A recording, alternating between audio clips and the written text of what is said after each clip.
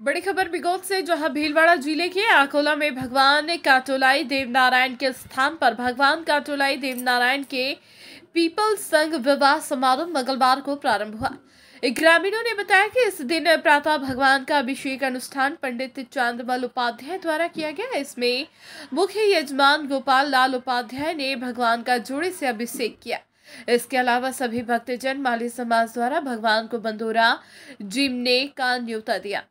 जिसमें बड़ी संख्या में भक्तजनों ने भाग लिया। चार बजे मायरा कार्यक्रम आयोजित के तहत बत्तीसी कार्यक्रम में बिहार पक्षी के शांति लाल तिवारी के घर पर आयोजित हुआ।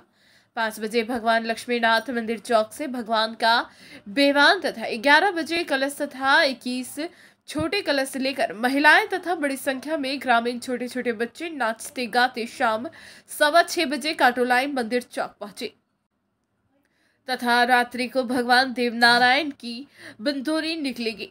उन नौ मार्च को प्रातः सवा सात बजे बारात देवनारायण मंदिर चौक से रवाना होगी, जो आमलीगढ़ मगरोप मुख्य यजमान जमुना लाल तेली के यहाँ पहुंचेगी, जहाँ पर सवा बारह बजे पीपल संघ विवाह समारोह आयोजित होगा, जिसमें क्षेत्र के गाँव से बड़ी संख्या में ग्रामीण भाग लेंगे।